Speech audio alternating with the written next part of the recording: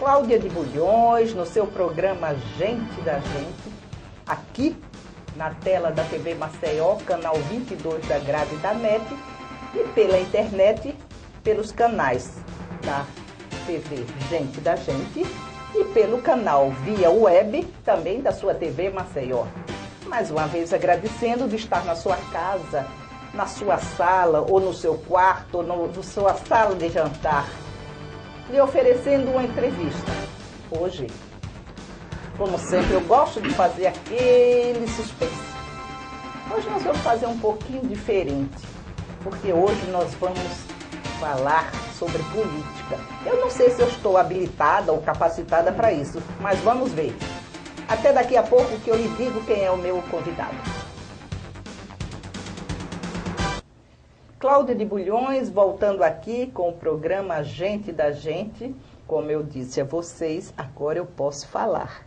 Estamos aqui com Mário Agra, ou seja, melhor, doutor Mário Agra. Mário, seja bem-vindo. Ah, eu que agradeço esse espaço que você está é, nos dando para falar um pouco aqui sobre a política, sobre as atividades profissionais, enfim, sobre a minha vida profissional de 35 anos. Olha, e tem um detalhe, ele acabou de apresentar o programa dele, agora ele é entrevistado no programa Gente da Gente aqui na TV Maceió. Só dá ele hoje. Ô, Mário, nós estávamos conversando, você é engenheiro agrônomo. Isso. Está para se aposentar. Já pertinho. Já pertinho. Está satisfeito com isso? Tô, sim. Tô, é porque eu já tô, eu vou me dedicar agora, como eu falei, a uma uma outra área que eu gostaria de ter me dedicado mais tempo. Mas eu era responsável pela secretaria, na Secretaria da Agricultura. Ainda sou, né, porque não me aposentei, mas é, eu quero me dedicar agora também, dar continuidade ao que eu venho me dedicando nos últimos anos. Só pode-se dizer nos últimos sete, oito anos. E o que é essa dedicação aqui? Veja, é uma área que eu considero importante é, para a economia do Estado, que é a área da produção de mel e própolis e pólen, vindo das abelhas. Nós temos cerca de 400 abelhas nativas, das, dessas 400 abelhas nativas, nós temos um percentual pequeno que são abelhas é, sem ferrão, e, que a gente chama melipônias, e que produzem Me... melipônias. Melipônias, viu, é, meu telespectador? Melipônias. São, elas são nativas e não tem ferrão. Não, são nativas e não tem ferrão. E é o fato interessante, é o que muda nelas, é, são as, a, o nível de, de seleção que ela faz nas flores. Então, é, mel é a composição de água, de néctar de pólen.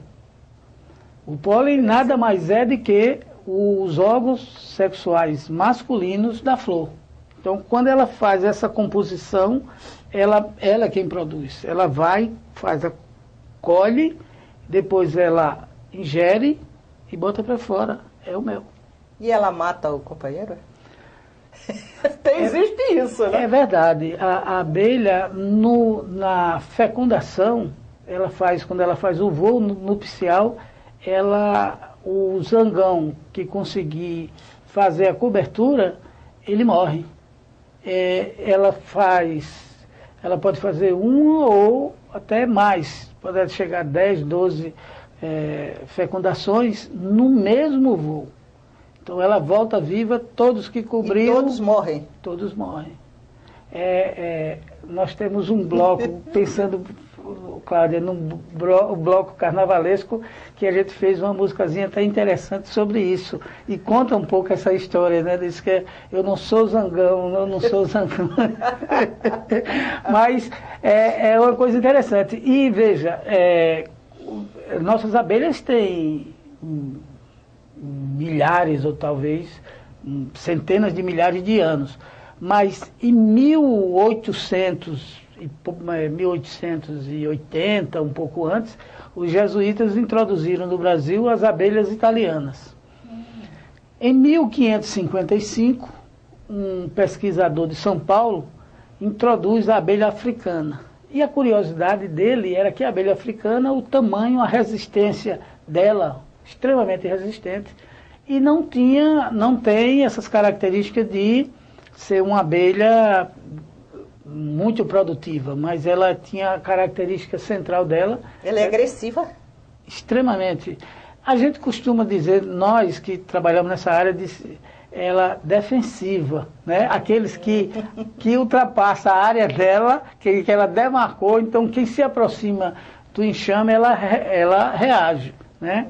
Então ela, ela tem, e nas revoadas dela, quando ela enxameia, então eu me lembro, é, você também deve lembrar, é, a, os telespectadores, quando é, na década de 60, 70, que essas abelhas, porque na verdade foi, foram importadas em 55, com pouco tempo depois, o pesquisador lá em São Paulo, ninguém sabe explicar direito, elas enxamearam e voaram, saíram de São Paulo. E olhe que essas abelhas hoje tomaram o Brasil todo, as africanas. As africanas, veja só, elas começaram e fizeram o cruzamento com as abelhas italianas vindo do, do século XVIII. E o que é que acontece? Surge uma abelha que a gente chama Apis mellifera. Ela é do cruzamento, não é uma abelha brasileira, mas ela é o cruzamento da abelha italiana com a abelha africana. E deu essa abelha fantástica, né, que ela herdou uma parte do, da abelha africana e a produtividade, a parte da resistência da abelha africana e a parte da produtividade da abelha italiana. E deu, hoje é considerada uma das melhores abelhas do mundo, é a nossa abelha que não é brasileira, mas a sua origem foi aqui no Brasil de duas abelhas, a italiana, europeia, com a abelha africana. Você entrou na militância, você lembra ainda o ano que você entrou? Exatamente, eu, eu começo minha militância em 1977, 78 tem quanto tempo? Ah, cabeça não sei não. Faça é, aí, meu telespectador. Dá, dá mais, ou menos, é, mais ou menos quase 40 anos, né? É, 40 anos. Nossa, então, é, é, se ele pode responder tudo que nós queremos. Daqui a pouco nós voltamos.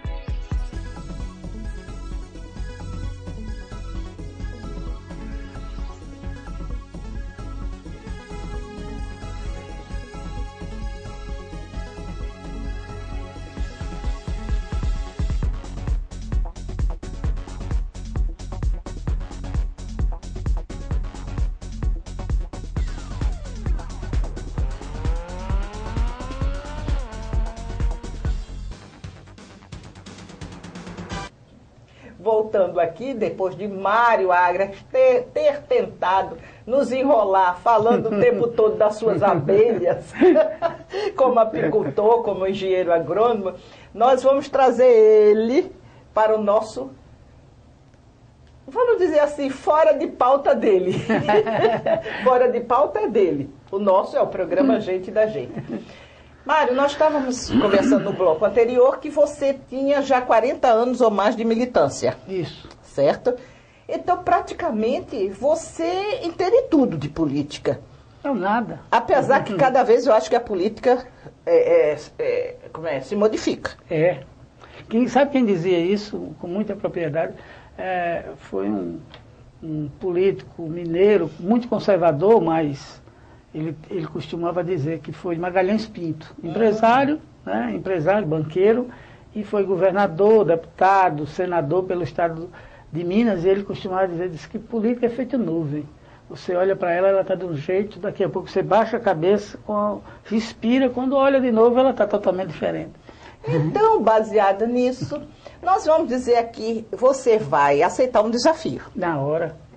Essas pessoas que eu vou citar o nome, você vai dar ou sim para elas ou não. O sim é, é positivo. Você, positivo.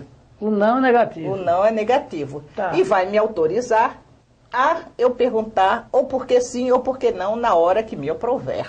Tá Porque aqui quem é a entrevistadora sou eu. Tá bom. eu tenho que ser disciplinado para. Sim ou não para Fernando Collor? Não. Sim ou não para Heloísa Helena? Sim. Agora, se você não dissesse sim, apanhava, né? apanhava. não, mas assim. Sim ou não para Renan, senador? Não. Sim ou não para Tereza Nelma, vereadora? Agora você me fez uma, uma reflexão. Não. Não, não me enrola, não. Não, não, não, não. não. Sim ou não para Renan, governador? Não. Sim ou não para o senador Benedito Lira? Não. Eita, tudo não. É. Sim ou não para Ronaldo Lessa? Não. Aí vem, sim ou não para Lula, ex-presidente? Não. Sim ou não para o partido PT? Não. Sim ou não para o Movimento Brasil Livre? Não. Sim ou não para o deputado Paulão? Não. Gente, será que eu não vou ganhar um sim? Sim ou não para a secretária de Cultura Melina Freitas? Não. Sim ou não para a secretária Rosinha da Defal? Não. Meu telespectador. Pode perguntar por quê, né? Tiveram mais de 200 nãos aqui. Né? Eu até vou parar, porque é tanto não, não, não, não, não, que eu já estou ficando, eu estou me sentindo rejeitada. Aí eu pergunto o seguinte, por que não para o Movimento Brasil Livre? Pelo seguinte, o, o, o movimento de oposição ao governo, eu acho que é extremamente salutar e positivo. O problema do movimento brasileiro, eu, inclusive participei de um debate com eles, e acho que, eh, lamentavelmente, tem alguns interesses que não estão postos e boa parte da população não sabe. Eu fico, eu fico é, impressionado como é que o movimento ele vai para a rua, por exemplo, aqui em Alagoas e sequer faz uma cita ou um, uma figura como um personagem tão responsável quanto Renan Calheiros, um responsável tanto quanto tanto quanto o senador Renan, é, o Fernando Collor, um senador Benedito de Lira, são personalidades que estão envolvidas, inclusive, no, no, no escândalo e nem sequer citam, nem sequer faz abordagem. Então eles são tendenciosos? Eu não diria tendencioso, eu não gosto de usar esse termo, mas eu diria assim, quem está por trás do movimento Brasil Livre, do movimento, porque na verdade são vários movimentos, né? O Brasil Livre é um deles. Mas por trás da, da grande manifestação eu fiquei impressionado com é, o volume de, de por exemplo, de desinformações que nessa, numa pesquisa foi feita em São Paulo no dia da manifestação. Com os, os transeuntes, com os participantes? Com os participantes, com os membros da direção, com a coordenação. O volume de informações, de desinformação é muito grande. Então, é, por exemplo, como é que você vai para a rua e não, não questiona algumas coisas que, por exemplo, o, Brasil, quem conhece um pouco da história do país, sabe o que, é que significa os avanços que se teve com referência às garantias do povo brasileiro que, no que diz respeito às leis trabalhistas, com todas as dificuldades. Pode ter erro de um lado, pode ter erro do outro, mas foi uma luta imensa que é o povo brasileiro. É verdade. É, e, de repente, aparece no Congresso Nacional uma lei de terceirização e essas pessoas não se manifestam. Ué, mas como uma, uma coisa dessa envergadura e não se manifesta? E não se manifesta sobre várias questões. Por exemplo, o nível de endividamento hoje, Cláudia, do país, que vem de muitas décadas, você aí pode dizer, mas não é responsabilidade de Dilma, sim, mas ela também tem culpa. Não é responsabilidade de, de Lula, sim, mas também teve culpa. Não é responsabilidade de Sarney, de Collor, e, e, sim, mas também tiveram culpa. Ela surge, ela começa a ter uma dimensão a partir de 1974, que é no governo militar. 1974. Então, de lá para cá, né, como é que você vai às ruas e não fala da questão do nível de endividamento? Afinal, o que é isso? Você tem esse escândalo agora que surgiu, que tem várias personalidades envolvidas do HSBC, que é um, um escândalo. É pessoal que pega o dinheiro, manda por debaixo dos panos, né, para um banco que está lá na Suíça, é, como é que se diz, é, sonegando e negando, porque esse então, dinheiro... isso eles estão omitindo de alguma maneira? Omitem, omitem claramente, né? Então, Mas é um... Isso é falta de desconhecimento? Não, eu acho que não. Não, é que essa questão não está colocada na ordem do dia. Porque eu acho que o escândalo que tem no governo Lula, no governo Dilma, e todos esses governos anteriores, ele existe, eles existiram no governo Fernando Henrique, tal qual. O volume, talvez as informações a gente não tenha tanto, mas a questão do governo Fernando Henrique nas privatizações, é, na Vale do Rio Doce, enfim, várias empresas, ela foi, foram escândalos e mais é escândalos. É Se você pegar na época Sarney, é um escândalo. Pegar a história da família Sarney é um inferno. É lógico que você tem os governos Collor que passou, que foi outro escândalo. E se a gente pegar, indo um pouco mais além, que eles não gostam, eu fico muito triste quando vejo figuras por trás nas movimentações pedindo a volta do regime militar, é porque desconhecem, desconhecem o que foi aquele momento. Mas não só pela questão do que eles fizeram, que prenderam, assassinaram é, é, e, é, e torturaram muitas pessoas, muitas pessoas que, inclusive, lutaram para que hoje eles possam ir às ruas também. Exato. Que hoje eles possam ir às ruas também reclamar que é um direito democrático deles fazerem isso. Agora, qual é a tristeza? É desconhecer que durante o período militar a, houve escândalos e só com uma condição diferente. Mas pelo que me consta, eles não estão, o Movimento Brasil Livre não está pedindo o retorno do regime militar. Algumas pessoas que Sim, estão é verdade, pedindo. é verdade. Mas, por exemplo, numa manifestação de oposição que a gente faz, né, nós fizemos pelo país agora, dia 26 passado, teve movimentação pelo Brasil. E Ninguém se atreveu a botar uma, uma faixinha dessa dentro. Não venha. Se quiser fazer esse tipo de propaganda, de voltar para desconhecer um com esse tipo de comportamento, faça o seu e se responsabilize. Dentro de um, de um, de um bloco de lutas que pertence ao povo brasileiro, não venha com esse tipo, porque eu, eu me nego a participar dessas coisas. Por quê? Porque, Cláudia, deixar bem claro, olha tem um livro escrito por um general, não é ninguém de, de, de, esquerda, não é ninguém progressista, não é ninguém nem sequer de oposição. O general chama-se General Hugo Abreu. Quem foi Hugo Abreu? Foi chefe do Estado-Maior das Forças Armadas e foi chefe do gabinete militar da era Geisel. Esse cara era um general que entrou duas vezes, duas, para ser presidente da República na listagem. Na época Geisel e depois na época Figueiredo. E esse cara escreveu um livro chamado Os Bastidores, o outro lado do poder, o desculpa, o outro lado do poder. É uma bomba.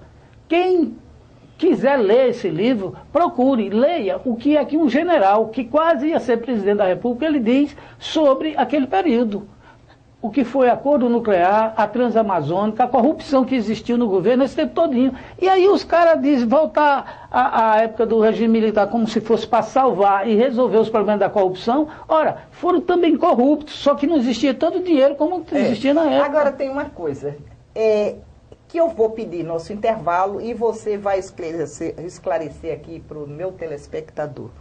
De onde vem o dinheiro para o Movimento Brasil Livre. Nosso intervalo.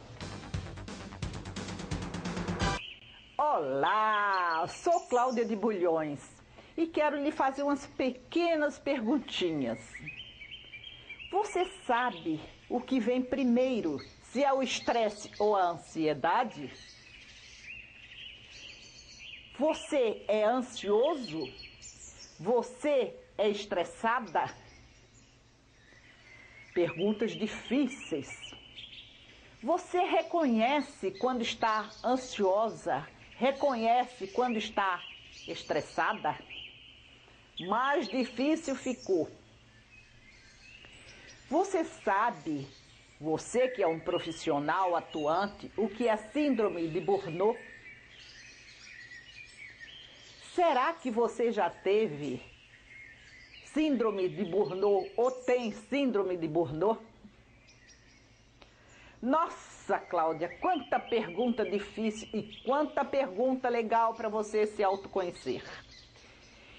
Nós estamos oferecendo a vocês um curso treinamento teórico prático. Resiliência no controle da ansiedade e do estresse.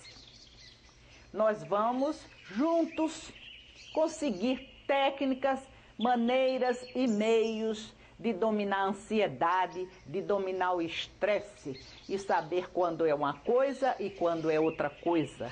Até porque muitas vezes nós temos que ter um estresse positivo ou oh, estresse positivo, verdade, estresse positivo. Daí termos a necessidade de juntos conversarmos, termos um curso teórico prático sobre resiliência no controle da ansiedade e do estresse. Prestem atenção, resiliência no controle da ansiedade e do estresse. Quer saber mais? Acesse www.gentedagente.net. Lá você vai saber tudo, inclusive poder fazer a sua inscrição antecipada. Resiliência no controle da ansiedade e do estresse, com Cláudia de Bulhões, psicóloga. Voltando aqui no seu programa Gente da Gente, na TV Maceió, canal 22, nas suas TVs internet Maceió e pela sua TV internet Gente da Gente. Estávamos perguntando, deixamos é, Agra numa calça justa, porque não é saia justa, né? Uma saia... Calça curta. De onde vem, se ele sabe a origem do dinheiro para o movimento Brasil Livre. Até porque né, aquilo é caro, tem estrutura para tudo. É verdade. Eu, eu, confesso a você que não sei. Eu, eu, eu tenho ouvido muitas conversas, mas não quero crer. Eu acho que existem setores interessados né, de fazer oposição e de incentivar. Eu acho, não vejo grandes problemas, lógico, a depender de quem é que esteja financiando. Mas é, eu não quero crer, pelo menos nas, nas acusações que eu ouço de alguns setores é, vinculado às bases do governo Dilma, às bases do governo Dilma Lula, por exemplo, eu não quero crer que são, que são verdadeiras, entendeu? As acusações que vem dinheiro de setor A, setor B, eu prefiro é, não, ainda não acreditar, porque não vejo consistência. Até porque você me parece um homem que só fala quando tem certeza. É, eu tenho uma, uma, uma, esse defeito. então vamos falar, fazer o seguinte agora. Outra curiosidade minha, e você como um, além de um político, além de um apicultor, uhum. você é um estudioso. Eu garanto, como você já pensou nisso, e se não pensou, vai pensar agora. O que é, por que que diz, de esquerda ou de direita? Porque eu só entendo esquerda e direita. No braço. No braço. É, e, e esquerda, direita. Por quê? Veja, Cláudio, essa é uma Aí eu pergunto, você é de esquerda ou de direita? Sou de esquerda, com muito orgulho. Mas veja, é, na verdade é uma história interessante, porque isso ela vem do século XVIII também, da bancada é, que, inglesa que sentava do lado direito e do lado esquerdo. E aqueles, pelo fato de sentar Olha do lado. interessante. É, os parlamentares que sentavam do lado da esquerda eram parlamentares que defendiam mais as ações da, do governo, do, né, para aqueles setores mais necessitados, do, mais necessitados do poder público. Ah. Aqueles que defendiam mais o povo, aqueles que defendiam mais os setores, os, aqueles que produziam a riqueza, os trabalhadores, enfim, eram esses setores que coincidentemente sentavam do lado esquerdo. E aqueles que sentavam do lado da direita, eles eram o que rebatiam, né? E estava ali representando mais o setor da dombreza, o setor mais aquele que não era bem, era o setor, pode-se dizer assim, empresarial da, da, da época, né? daquele século, né? na Inglaterra. E daí surgiu um pouco essa história de direita e esquerda, daqueles que se identificavam com o povo, os trabalhadores, o povo trabalhador, aquele que produz a riqueza, é, setores da esquerda. E os, aqueles que, que eram contra, que estavam mais preocupados com a sua acumulação de riqueza, eram os setores de direita. Isso ficou no mundo inteiro. Interessante. É, Agora de... eu pergunto também, sabe, Agra? Por que vermelho? É. E por que, que não tem o azul? O pessoal da direita não é azul?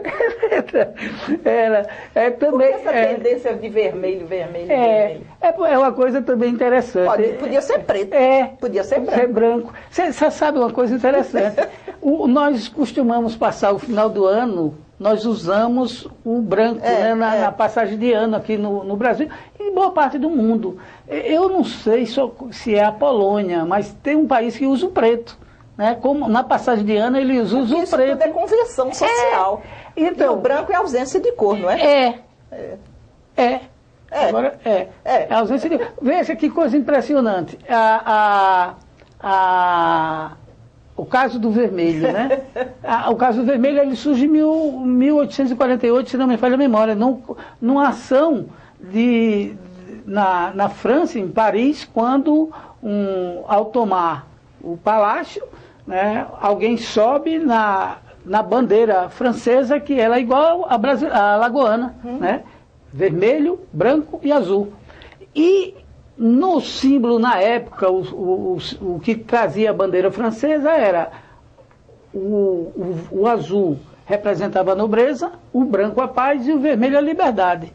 Então, o cara sobe, rasga a parte vermelha da bandeira francesa Olha, e ficou a bandeira branca e vermelha. O branco representando a paz e o vermelho representando a liberdade. Daí, os partidos de esquerda, né, as, as cores que utiliza é o branco e a, o vermelho, principalmente, predominantemente o vermelho, em função dele representar a liberdade. E não a violência, o sangue, como se, se é. divulgou tanto. Né? Ele representa a liberdade. Esse que é o grande objetivo. Interessante, né, meu telespectador? É, entrevistar Mário Agra é cultura. é, ele não é só, é, eu repito, ele não é só apicultor, não é só político. Ele Obrigado, também é uma querida. pessoa que, que estuda. Aí eu digo assim, então agora eu vou é, oferecer ao Luiz Vilar para ele andar de azul. ah, tá. Vamos, Já que vamos vocês ver. andam de vermelho, é, né? E, azul, né? O azul. Agora eu pergunto a vocês, os partidos de esquerda são livres?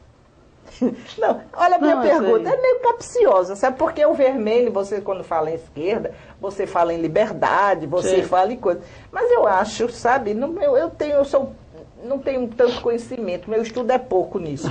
Mas eu digo assim, eu acho que todo mundo está atrelado a algumas normas, a algumas dogmas, até o partido político, senão seria anarquismo, né? E o anarquismo também é, é atrelado. Mas vamos lá, eu não quero dar aula, que a aula não. é do... não, veja, na verdade, o, os partidos eles têm que se basear em, em, uma, em uma legislação que ela muda conforme a sua composição no Congresso Nacional. Ele é assim aqui no Brasil, em qualquer país do mundo. Né? Então, os, os os partidos eles são regidos por leis que são feitas nas câmaras, né? Alguns países têm pequenas modificações do ponto de vista da sua funcionalidade, onde ele chama de estados ou municípios, é, nós temos uma lei no Brasil inteiro, que o que vale no EAPOC vale no Chuí. Então, os partidos eles têm que obedecer, obedecer uma legislação desde a sua, da sua constituição até ao modelo de estatuto que ele tem que fazer. Ele flexibiliza ou mais, mas tem um parâmetro que vai de A a Z no que diz respeito à constituição de um estatuto de um partido político no Brasil, porque ele não pode extrapolar o, o estatuto à lei que regulamenta a existência de um partido. Entenderam? Aí eu pergunto o seguinte, sabe? Você já foi candidato a quê? Eu fui candidato, efetivamente eu fui candidato a governador, fui, participei da candidatura a prefeito de Maceió, e, na verdade, fui candidato a deputado, mas com o intuito de ser, de ajudar na campanha. É, comecei, mas depois tive que mais coordenar de que efetivamente, de, é, efetivamente ser candidato.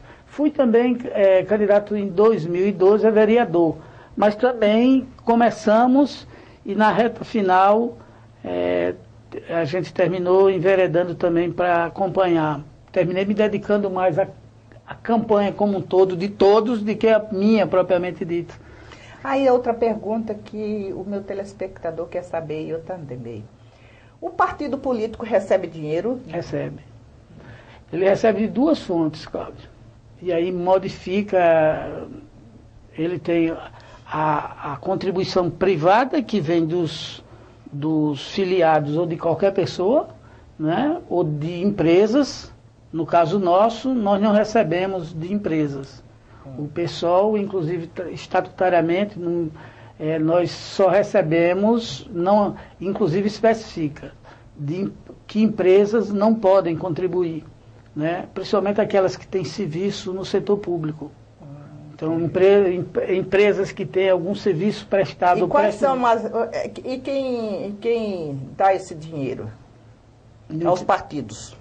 Não, aí você também tem o fundo partidário, que está no orçamento do TSE, Isso. que repassa um percentual. Por exemplo, o PSOL é um partido. Como é que se faz a, a, distribuição do fundo partidário? Porque as pessoas também confundem. Confundem. É. O fundo partidário está no orçamento, é repassado para o, o, Tribunal Superior Eleitoral e ele faz a divisão para os estados. Para para os estados não, para os diretórios nacionais, e aí tem um critério. Critério, 20% do que se contribui, do que se repassa para o partido é, é, igualitariamente e 80% é de acordo com o tamanho da bancada na Câmara Federal. Então, se fizer mais deputado federal... Recebe vou, mais, mais é, fundo. É, é, é, porque eu, eu vou, vou pegar a minha voz, é, tá? então, recebe mais dinheiro. É, exatamente isso. Então, vou pegar o exemplo, vou pegar o exemplo do PSOL. Né? Eu fui tesoureiro nacional do PSOL e, e fui presidente aqui em Alagoas. Vou pegar o exemplo. Alagoas recebe mais ou menos quanto? Hoje por, pra, por mês. Estava é, em torno de R$ 2.800 por mês. É tudo que nós recebemos por mês do fundo partidário. O PSOL. O PSOL. E vocês têm quantos, quantos deputados federais? Cinco. Aqui de Alagoas? Não, nacional, né? Ah, sim. Nacional, porque é distribuído pelo, de forma nacional. E aí os estados distribuem, seu, é, repassa para os estados proporcionalmente ao número de filiados. Uhum. Ao número de filiados. Então, no nosso caso, nós recebemos nessa faixa 2.800, 2.900, 3.000 reais. vocês fazem campanha política com esse dinheiro? Contribuição individual nossa, de cada um. A gente pega, por exemplo, eu, né, eu tenho muitos amigos que são colegas, são agrônomos, são engenheiros civis, são, enfim, professores, que contribui. Contribui com 100, com 200, com 50 reais, com mil reais, cada um de acordo com suas possibilidades. Então, é, para você ter uma ideia, a minha campanha efetiva, pegando a campanha de governo do estado de Alagoas do PSOL, ela chegou próximo a 30 e poucos mil reais. É uma campanha. Só? Só. Né? É Luiz, e você fez o que com isso? Não, porque na verdade é grande não, parte. espectador, desculpe eu dizer. Mas, mas é verdade. É porque é tudo tão caro. É, mas é caro mesmo. É porque o, quase 80% disso foi gasto de TV, da, da edição de, de TV, que é, faz para a gente num valor é, infinitamente mais barato. Enquanto, por exemplo, é, nós isso gastamos. Aí foi simbólico. Foi simbólico, é, é verdade. Para não dizer que ah, deu. É, exatamente. Enquanto algumas, alguns, alguns candidatos aqui em Alagoas, eles gastaram 2, 3 milhões no, na sua produção, Exatamente. 2, 3 milhões, é, nós gastamos 25 mil reais para fazer a campanha dos candidatos a deputado estadual, de governo, de tudo. É interessante observarmos. E, e, tem esse negócio que o cabeça de chapa ganha mais dinheiro do que os outros. É, tem que explicar. Não, eu Porque sei, o meu é verdade. É verdade, não, a, minha é pergunta, a minha pergunta foi assim muito tchan, mas você não. Você, meu telespectador não sabe o que é cabeça de chapa. É. Vamos deixar pra gente depois do nosso intervalo? Tá bom. Olá, sou Cláudia de Bulhões e quero lhe fazer umas pequenas perguntinhas. Você sabe o que vem primeiro, se é o estresse ou a ansiedade? Você é ansioso? Você é estressada? Perguntas difíceis. Você reconhece quando está ansiosa? Reconhece quando está estressada? Mais difícil ficou. Você sabe, você que é um profissional atuante, o que é síndrome de Burnout? Será que você já teve síndrome de Burnout ou tem síndrome de Burnout? Nossa, Cláudia, quanta pergunta difícil e quanta pergunta legal para você se autoconhecer. Nós estamos oferecendo a vocês um curso treinamento teórico prático. Resiliência no controle da ansiedade e do estresse. Nós vamos juntos conseguir técnicas, maneiras e meios de dominar a ansiedade, de dominar o estresse e saber quando é uma coisa e quando é outra coisa. Até porque muitas vezes nós temos que ter o estresse positivo. Ou oh, estresse positivo, verdade, estresse positivo. Daí termos a necessidade de juntos conversarmos, termos um curso teórico prático sobre resiliência no controle da ansiedade e do estresse. Prestem atenção: resiliência no controle da ansiedade e do estresse. Quer saber mais? Acesse www.gentedagente.net Lá você vai saber tudo, inclusive poder fazer a sua inscrição antecipada. Resiliência no controle da ansiedade e do estresse, com Cláudia de Bulhões, psicóloga. Olha, eu estou achando essa entrevista muito boa com a Mário Agra, que é do PSOL, mas Pouco me importa se ele é do PSOL, é do PMDB, é do PT, é do Ou do Pelua. É do Pelua, de qualquer coisa. O que, eu, o que interessa para mim, meu telespectador, é o que ele vai lhe oferecer de informações. Então eu estava aqui apertando ele, né? Porque dinheiro de campanha, sobre Isso. dinheiro de campanha. Então eu estava dizendo como é que eles conseguiram fazer uma campanha com 30 mil reais. É, eu vou dizer uma coisa mais estarrecedora. É, Luiz Helena, quando foi candidata em 2006 à presidência da República, ela gastou 273 mil reais. 273 mil reais. E como é que ela andou de helicóptero? Não, não andou de helicóptero. como é que ela andou de carro? É. Eu já estou. Como é que ela Usamos... andou de carro blindado? Não, também não andou. Veja, Cláudia, é, eu tentei. Nós passamos Olha, nós não estamos fazendo campanha política, não, é... nós estamos conversando. E como ele é do pessoal, ele é. toda hora fala pessoal. É. E, e pode falar. É. Mas veja que coisa interessante. Eu, eu eu, durante a campanha, uma de, é, tem uma determinada empresa, que eu não preciso citar o nome, é, nos procurou colocando é, um avião, um jatinho à disposição da campanha.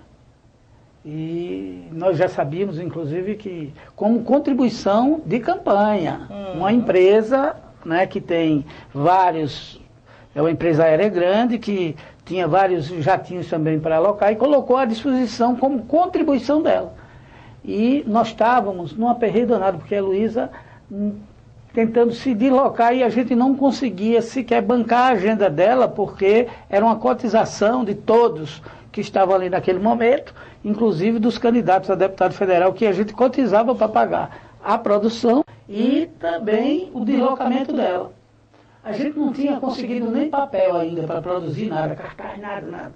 Então aquela, aquela aquela. Partido pobre. É, e é verdade, é um, é um valor. é verdade, é verdade.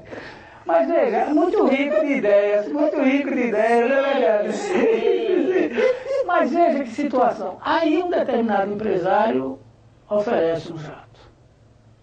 Tudo paga. Ser ou não ser, fez é. a questão. Imediatamente não, não vacilamos. Não só nós coletivamente, como a Heloísa foi a primeira a dizer não quero, porque se eu aceitar um jatinho, enquanto os outros estavam com vários jatinhos para cima e para baixo, ela disse, eu não quero, porque se eu receber um jatinho, um, jatinho eu vou deixar de ser a candidata do pessoal, vou ser a candidata da empresa tal. E é, e é verdade. Agora, porque as empresas... Como é ser cabeça de campanha? É, a, a, quando você...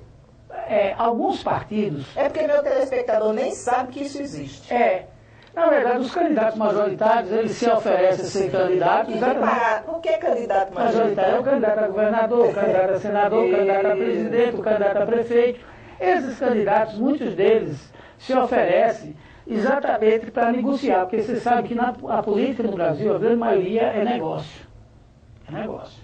Então, é, às vezes, Cláudia, tem uma coisa interessante. Um determinado candidato ele precisa, para ele poder disputar, ele precisa de uma candidatura laranja para bater num candidato de oposição a ele e tirar os votos daquele outro. Alguém que se propõe a ser laranja. Alguém que se propõe a tirar o voto do outro para poder beneficiar o A. Então, Ou seja, é para fazer maior número de, de votos. Isso. Então, não, ele, ele vai fazer ele o seguinte. puxa voto. É, ele vai puxar o, o pouco voto que ele possa tirar para ele, é um objetivo, não é muito, porque ele não pode tirar os votos do candidato A que está financiando ele. Tem um candidato A que financia é, o candidato A, o candidato B e o candidato C. Pegar o exemplo. Então o candidato A financia o candidato B para bater no C, que é o opositor A. Então, com isso, esse candidato B, ele vai, é o que a gente chama de bater, é, é, criticar, favor, é, é, mentir, às vezes falar a verdade. E eu já vi muito disso. Oh, tem muitos, tem muitos. Em qualquer campanha. Isso. Ah, Aí esse, é... Entendeu, meu espectador? É, é aquele que vai lá, fulano é isso, até que faz é, confusão no dia do debate. Isso, isso, isso. isso. Aquele tá ganhando. Alguns sim, alguns sim. Outros são malucos. Essa é boa. Mas é, é verdade. Tem um, tem um debate político, é. ou tá ganhando ou é maluco. Tem alguns, tem alguns, o, o, você tem algumas figuras que ele vai com esse intuito mesmo, de receber e faz até acordos. Porque, na verdade, é o seguinte, lamentavelmente, é, como a gente costuma dizer, as empresas, Cláudia, quando ela oferece recursos para o candidato A ou para o candidato C, um exemplo, ela tem seus interesses. Ela diz, eu lhe dou, mas X, eu quero. mas eu quero. E ele, o retorno, às vezes, é dez vezes maior do que ele botou. Então tem empresários. É a alma, né? É, tem empresários aqui que ele contribui aqui em Alagoas, em qualquer canto desse país. Em qualquer canto. Se tem um, um, um seriado é, que não é nada de esquerda, nada, é chamado. É, House Cards. É sobre as eleições americanas. É fantástico para saber como é que os bastidores, as empresas financiam os candidatos a Senado, a deputado, lá nos Estados Unidos. que quando você vai olhar não é diferente do que acontece lá em Brasília. É muito parecido. Aquelas pessoas que acham que as, as, as eleições americanas são eleições limpas, ou parece é uma São inocentes. É, a House Card mostra exatamente, são fatos reais que acontecem nos bastidores da política norte-americana. Mas aí na hora que divide o, o, o que é oferecido pelo TSE, aí aquela, para aquele partido, ele, o partido ganha mais dinheiro em época de eleição ou Não, normalmente? não, não, hoje não. Hoje não, ele continua recebendo a, é, A mesma cota. a mesma cota. Ele só, ele só terá, poderá usar na campanha se é um problema de administração dele.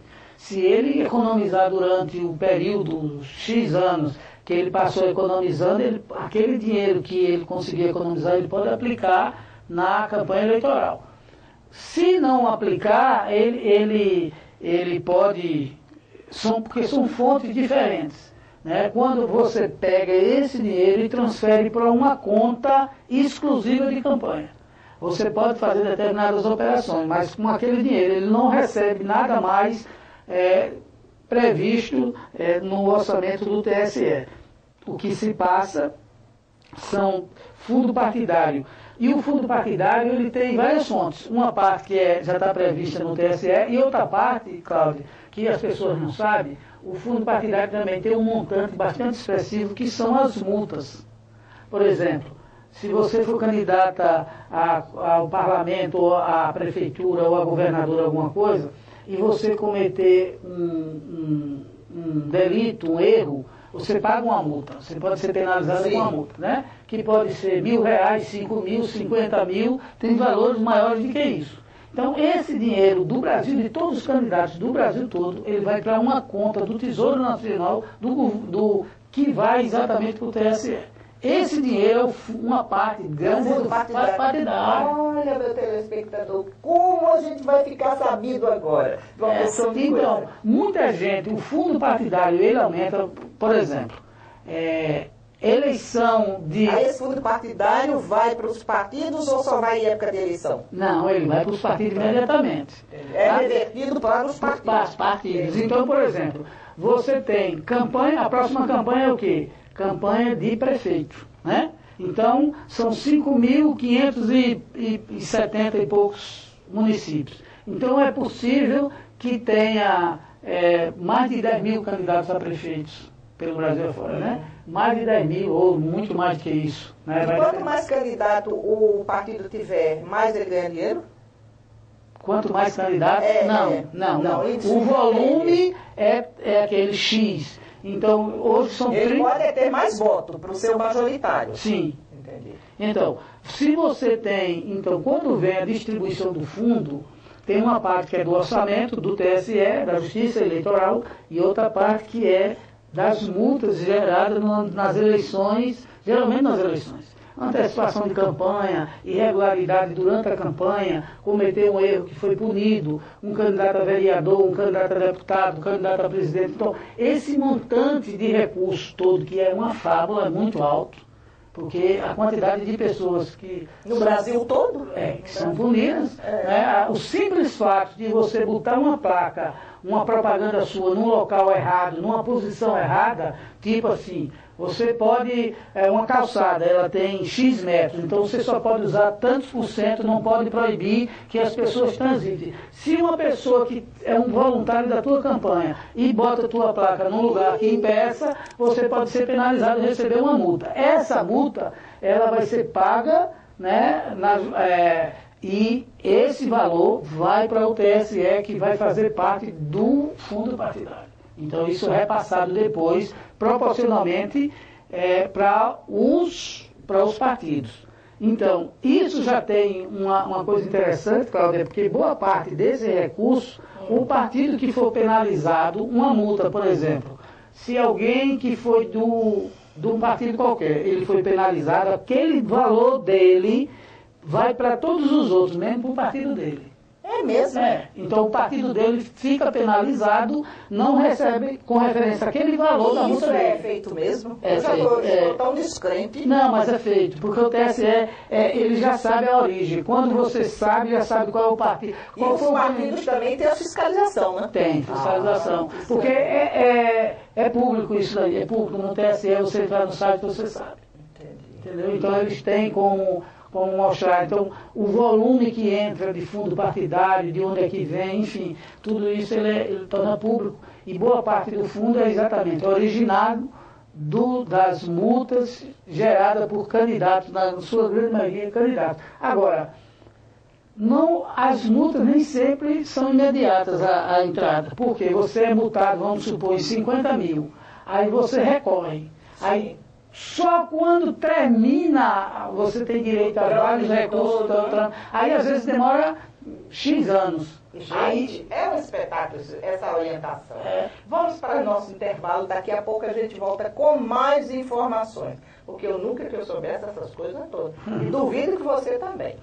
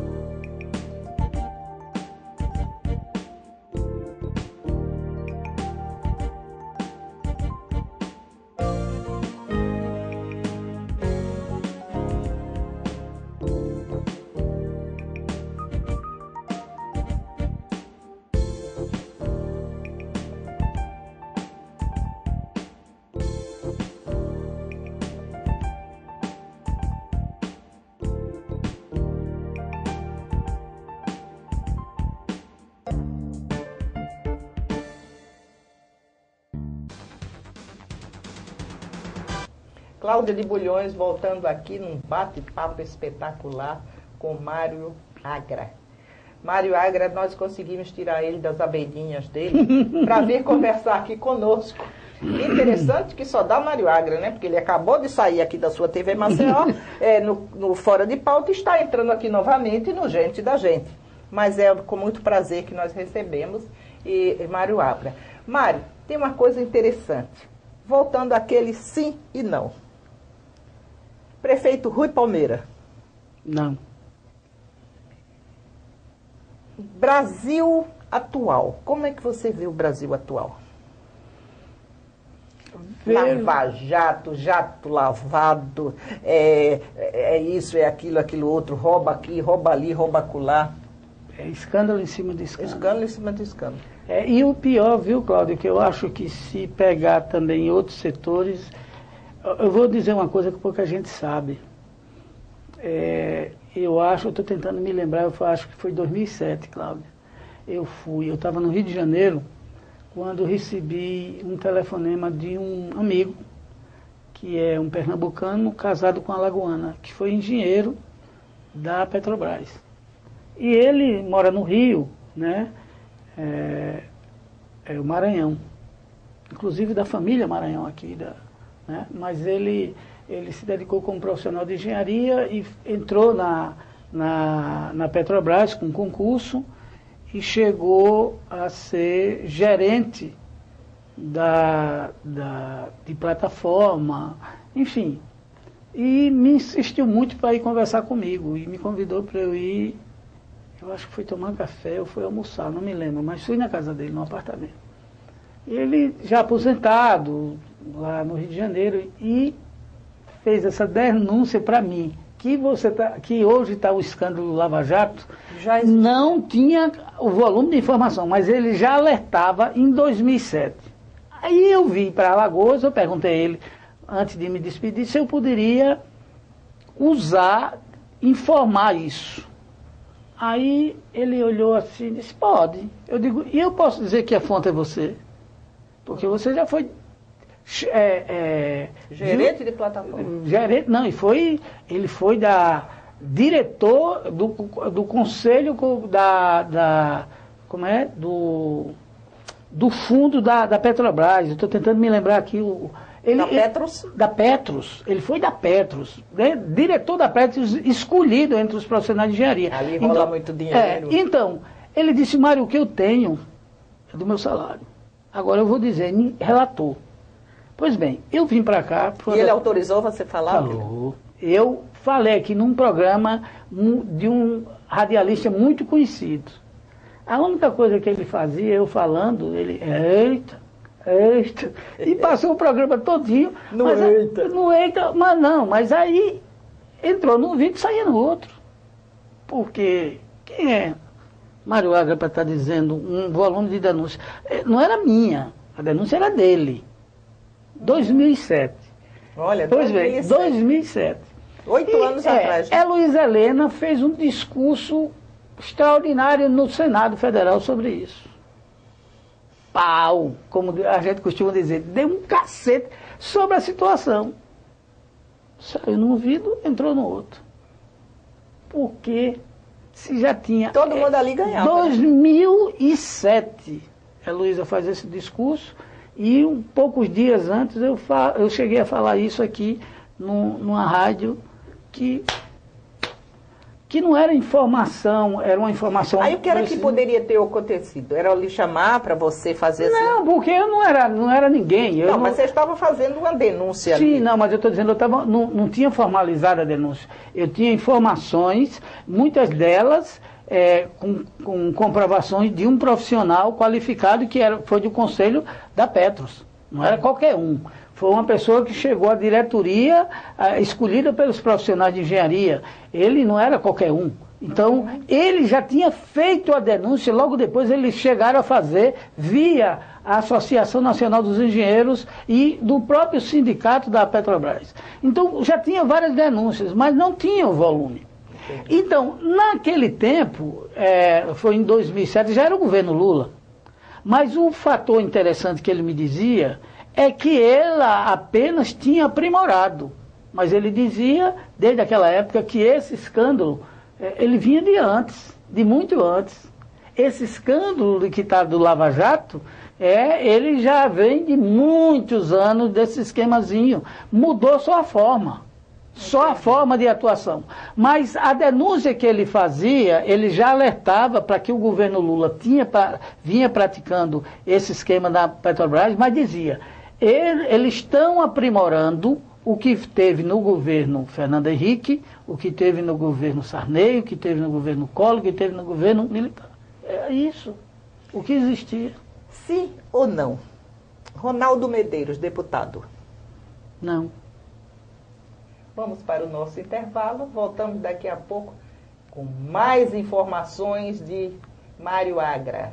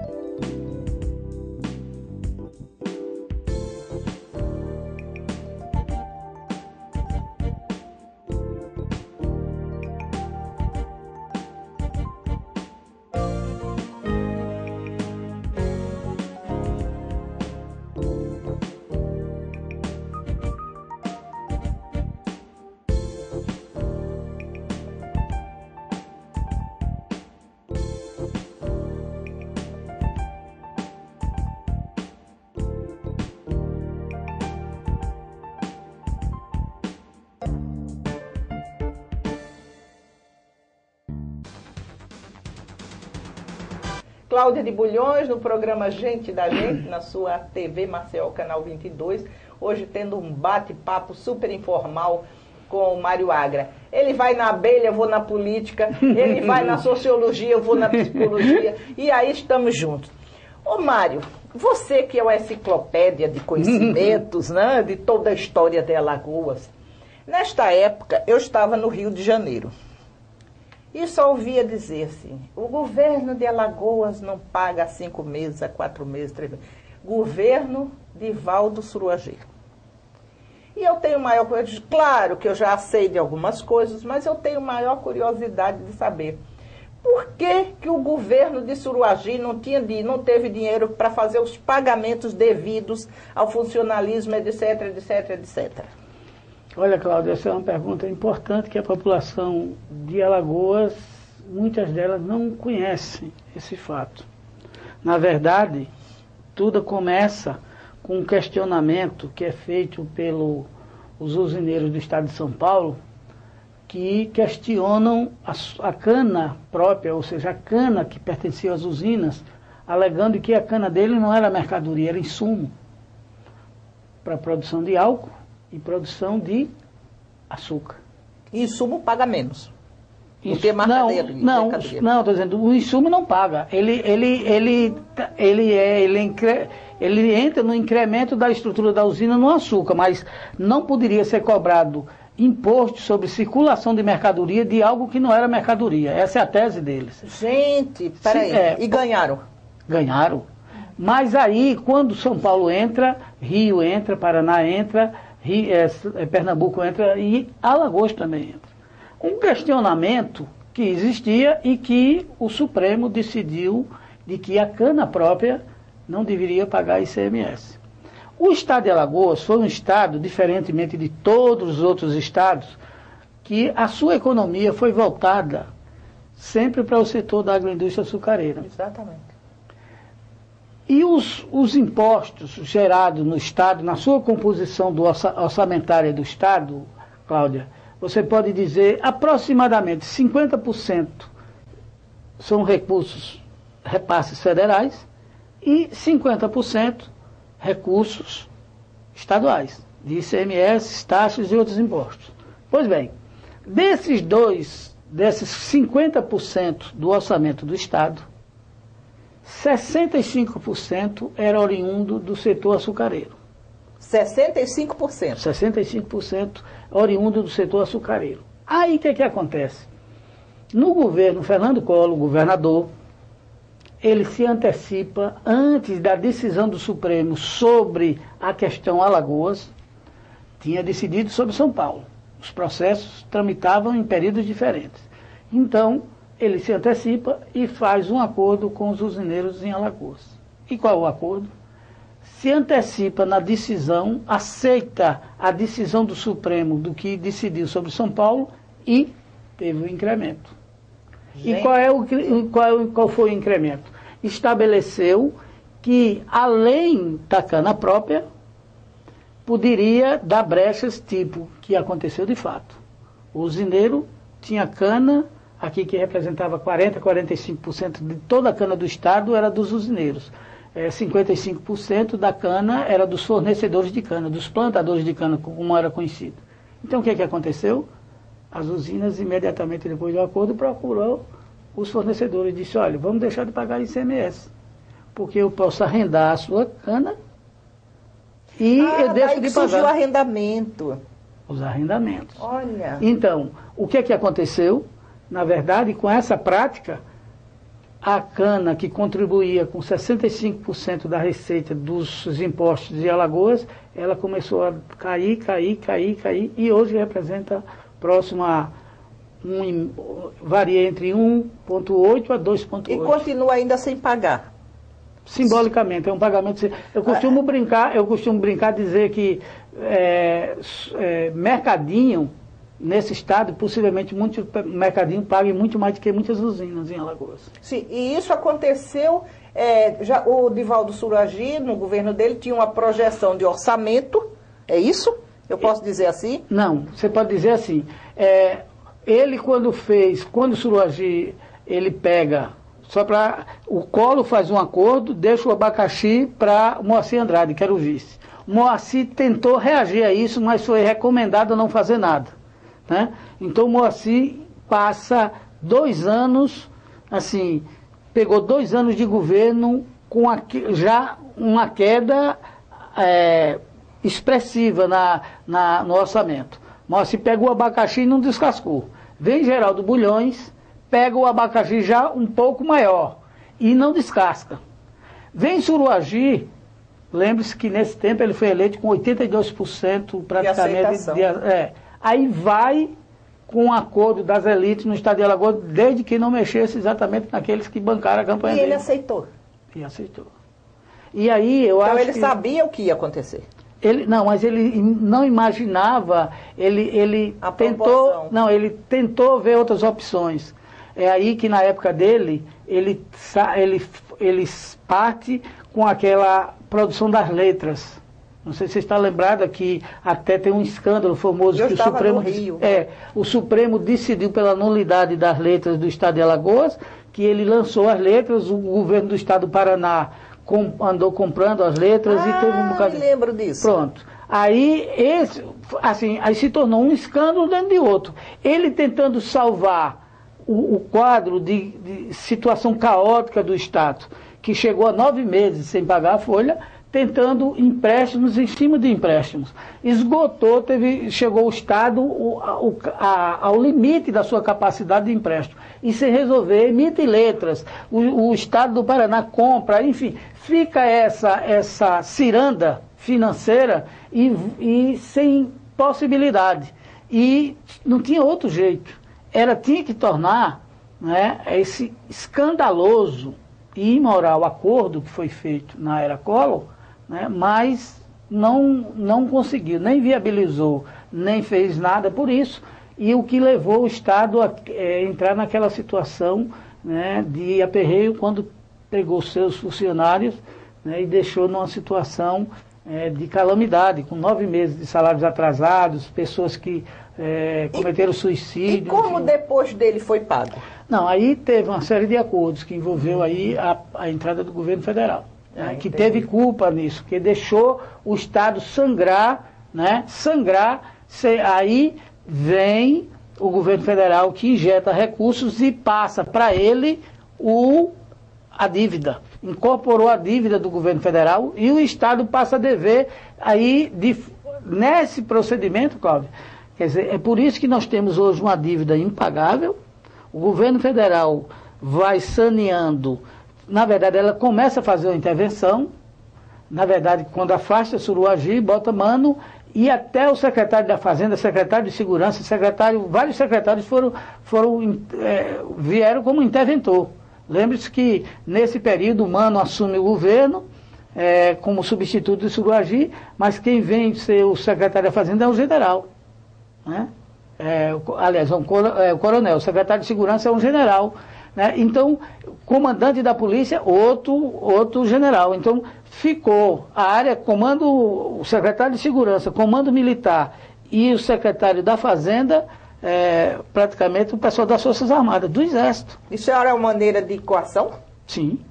Não, o, o, o Mano, ele exerceu a atividade de governador, mas sem mandar na área de segurança, nem mandar na área fazendária. Não dava pitaco. Quem decidia sobre as finanças do Estado né, naquele momento, é, foi o governo federal através das, de representantes das Forças Armadas. Então aqui. foi essa a situação que Divaldo Suruagi passou no governo do Estado.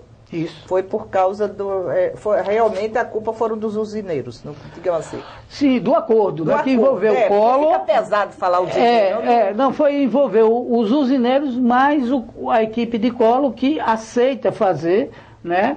E aí tem várias denúncias do que aconteceu de fato, mas efetivamente houve o um acordo, os usineiros vão numa velocidade grande, diminuindo, de, de imediato já uma parcela considerável, porque a, a de imediato a, a 40% da cana do Estado deixa de pagar ICMS. Repare, já o impacto disso. Em seguida, vem a expansão de todas aquelas fazendas que iam ser indo, ia sendo pagar, arrendadas né? é. pelas usinas dos fornecedores, ia deixando de pagar. E ainda por cima entrou um outro, um outro artigo no, no, no acordo, Cláudia, que foi a maior aberração, que dizia o seguinte, olha, vocês, é, a, no acordo dizia que tinha que pagar o retroativo, que Estado nenhum também fez isso. No, na, na, na justiça, é muito, é muito diferente do que aconteceu em Alagoas. A decisão judicial era, a partir daquele momento, não se pagar, ICM, não se pagar ICMS sobre a cana pronta. Ponto. Aqui em Alagoas teve Foi. não pagar a cana própria, E mas não- as terras, as arrendadas também seriam incorporadas e todas as empresas que pertencessem também aos usineiros deixariam de pagar. Isso é muito importante, porque o que eu ouvia dizer Que boutique não pagava? Que boutique não pagava, que era, era laranja, É. era para. É, revendedora de automóveis, né? revendedor, é, posto de gasolina, o que você pudesse imaginar de empresas. Nordestino, É. menino, o negócio foi feio. Foi. Muitas empresas que não pagavam. Porque quem não sabe isso só culpa o Suruagi. Na verdade, nós pagamos os impostos, é, por exemplo, aqui, é, cada é, ligação que você faz no celular, você paga um imposto pesado sobre aquela ligação, já quando você vai pagar na sua conta telefônica. A Sim. empresa a qual você, é, uma delas que você optou, é que apenas vai repassar. A mesma coisa é a Eletrobras. Quando você usa a energia que você paga, tem lá uma taxa alta de impostos. Aquele imposto quem paga somos nós. E Nós com a, a cana-de-açúcar, e com açúcar não, tem, esse- não tinha esse imposto. Exatamente. Agora estamos no final, mas só uma perguntinha. Foi nessa época o PDV? Sim. O vice-governador foi o principal coordenador, o atual vice-governador. Foi o grande coordenador no governo Suruagi que demitiu milhares de, de pessoas no Estado. Luciano Barbosa é ele, o, o articulador, lembre-se, do PDV em Alagoas.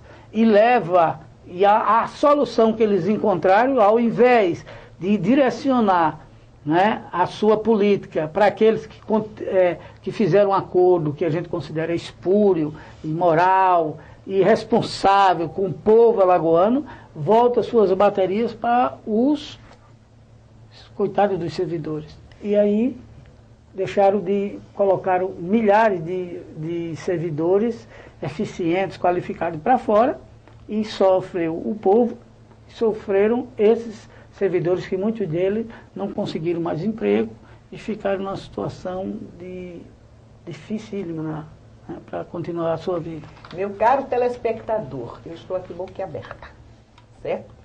Até porque a gente sempre ouvia falar, eu morava nessa época no Rio de Janeiro, o caos. Claro, eu estava noutra e não ia, me inform, não ia me informar tão a fundo dessas ocorrências.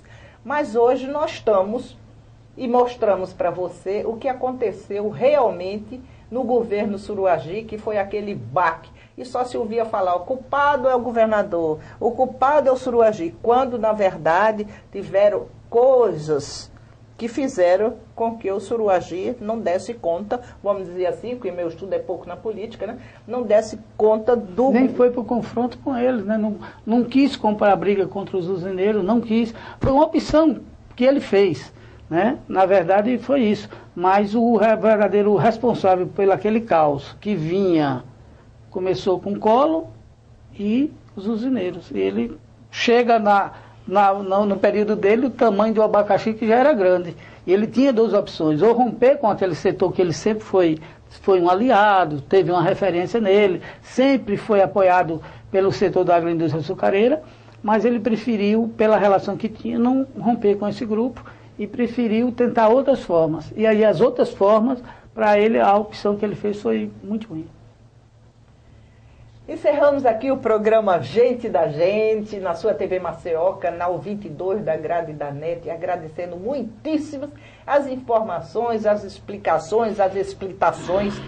Qualquer nome que nós dermos é pouco para agradecer a Mário Agra de ter vindo aqui aos nossos estúdios para fazer esse bate-papo. Muito obrigada, Mário, e eu espero ter você outras vezes. sim? Ah, sim. Porque você é a história viva da política, do conhecimento sociológico, socialista, é, é, qualquer conhecimento que envolva a política, onde tem cultura, o gente da gente está presente.